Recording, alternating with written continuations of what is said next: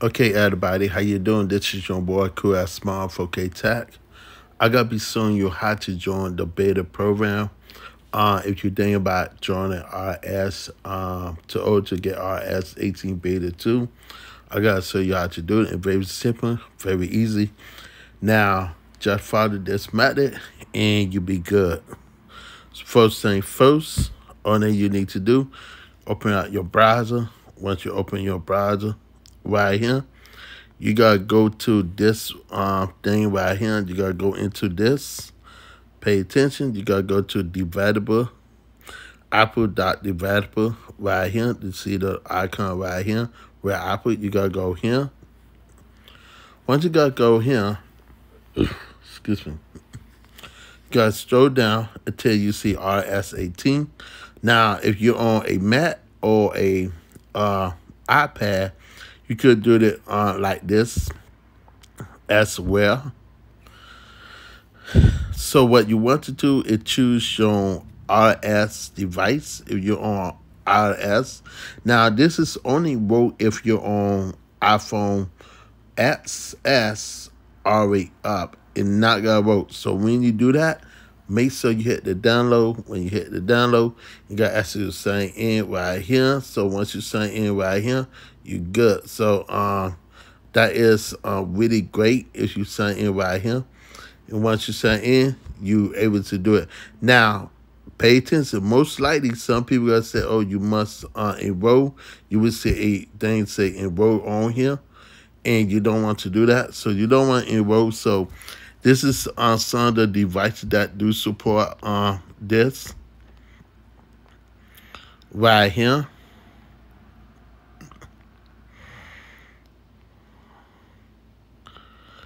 So uh, the account that I just logged in is a dummy account and not my UJet account. So fake account, in case you want to know. Okay, so you see the beta right here. Okay, so the next step you want to do when you do that, make sure when you sign in, you want to go to the App Store. So when you go to the App Store, you want to look for this application called Developer and when you look for developer, it will appear right here. You gotta open this right here. Open this, download, open, and send into your account right now. So you say send into your account. When you send into your account, you would go right into the settings, go back to General, and go to software update, and it will appear right here. So when you see that, this is how you know you're on iOS 18. Once you see that, and then you turn it on, mind you, it gotta be off on default. So you must turn it on, and then you will see. But make sure you send into your email for you code to do it. That the only way it will recognize you. So you don't do that, then hey, that on you. Now you is taking a bit change. So now for me as a developer, I'm not receiving too many bugs. So I don't have bugs, but it depends on your device if your device has um, bugs. So I just want to show you what you will be getting with some of the uh, updates. So first feature you got to be getting is a new uh, control center. You got to get something new with here with the new Siri uh, right here. So they did change some stuff uh, around. So you get third party applications right here. You can see uh, how everything looking. Right here, really great. Uh, when you press down, you have two ways. You can press down or you can hit the plus button right here.